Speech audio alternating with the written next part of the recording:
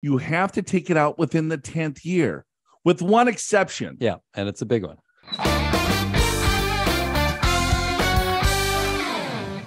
Um, got a couple RMD questions, Alan. Do we? Okay. Yeah, we got uh, Greg writes in uh, from Temecula, and then David from Taga Tagake Tagake. Tega Tega Cool. I want to go. So I guess a couple weeks ago we were we were talking about this 10 year rule, the Secure Act. Right. And then it was like you asked for a reference about inherited IRAs by non spouse having to take an RMD every year in the 10 year window.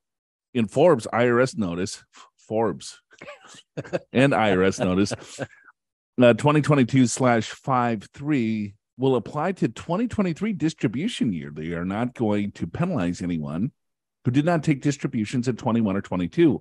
The IRS proposed the change in 2022 and said it will finalize in 2023. Joe said he didn't know anything about this. And supply proof. Maybe someone in the office has heard about this and give you a little bit more clarity. And then David kind of followed up and he goes, Hey, I was listening to the most recent episode on my drive home last night. I believe Joe and Al were called out by a listener regarding inherited IRAs and the impact of the SAFE Act. The caller was likely referring to the recent notice below. Thanks for all your spitballs. I think you meant Secure Act. So let's clear up all this confusion now. Yeah, le- yeah. Let's clear it up. Well, Al fir- first of all, what are we talking about? We're talking about a required minimum distribution, and there are no more basically RMDs after the Secure Act. So prior to the Secure Act that was signed a couple of years ago, if you were a non-spouse beneficiary, and if you inherited an IRA, you could stretch out the tax liability over your life expectancy. Got it. So you're six years old, Yeah, and so you have a pretty low RMD at the start, because- one eightieth, something like that. you're going to live to eighty six years old. Right. But So- but nevertheless, you got to take a little bit each year. You could stretch it out over your life. Yeah, and there was confusion, and there's still confusion because people were like, "Well, I inherited an IRA. I don't have to take a distribution until I turn 70 and a half." Right. Uh, that's when the, the the RMD age was 70 and a half. Yeah. No, now it's age 72. But anytime you inherit a retirement account, there is there was an RMD, but you were able to stretch it out over your life expectancy, so the tax impact wasn't awful. Right. And the IRS knew this. And they were just like, they're just parlaying, like people that had very large IRAs were just parlaying wealth left and right because, you know, kids would inherit millions of dollars in retirement accounts and then they could stretch the tax out over many, many, many years. So they were like, okay, well, let's close this loophole. And so now when you inherit a retirement account, you have to take the money out within 10 years. Yeah. If you're not a spouse. If you are a non-designated beneficiary. And there's like five more. Like, for mm-hmm. example, if you're disabled or minor child, things like that. Yeah. So there's a few exceptions, but for the most of us, non-designated beneficiary, or I, I believe that's a term, has to take it out within 10 years. Right. And you don't have to take it out each year. You have to take it out within the 10th year, with one exception. Yeah. And it's a big one. If the owner of the IRA died after his required beginning date, and what your required beginning date is April 1st, the year after you turn 72. Sure. So let's say you're you inherit someone's retirement account that is 80 years old. So now you inherit the account.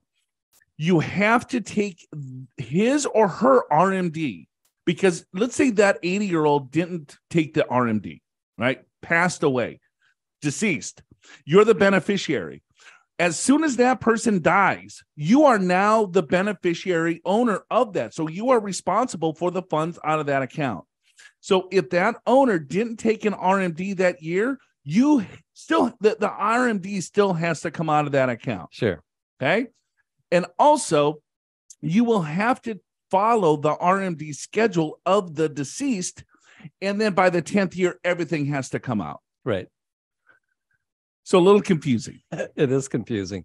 And and it's even more confusing than that because there's different life expectancy tables and all kinds of stuff. However i will maybe say it very simply required beginning date. You're right april 1st of the year after you turn 72 so if the the person that you inherited this ira from was passed April 1st, the following year after age 72. Let's just say 73. Yeah, if they were taking required Yeah. distributions, Yeah, yeah. So you, you basically have to continue in their footsteps and, and take at least as much as they did for year one, two, three, four, five, six, seven, eight, nine, and then 10, you have to distribute everything else, whatever's left over. but you could take more than the RMD each Always. year, And that's true in any case. and that's why it's a required minimum. That that's right. Now, on the other hand, if you inherit, like let's say you inherit an IRA from somebody that's 69 years old, 70, whatever, before their required beginning date, that rule doesn't apply. You can wait till year 10 if you want to and withdraw all the proceeds out at that time. And that was that was from that notice 2022-53, which was done this year by the IRS because it wasn't very clear before then because it seemed to most professionals us included is that you could wait till the 10th year on everybody, basically following the five year rule. But that it turned out the IRS wasn't thinking that way, or our politicians weren't thinking that way. So they clarified that. Then, when they clarified it, they said, well, you should have taken them in 2021 and 2022. So you're going to be penalized. And there was such an outroar on that that they came back and said, okay, we're going to we're going to forget the penalties for 2021, 2022.